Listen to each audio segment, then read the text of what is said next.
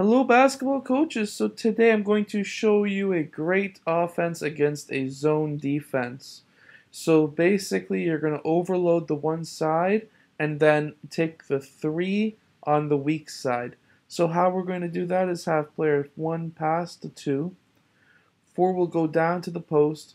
Five will go up to the high post. At this time, one will set a screen for player three away.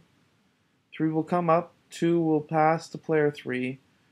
5 and 4 will run a stack screen. He will then, player 2 will use 4 and 5 as a screen at the same time as one's using, or one is screening for player 3.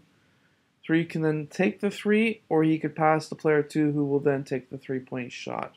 I hope you have enjoyed. Please like and subscribe.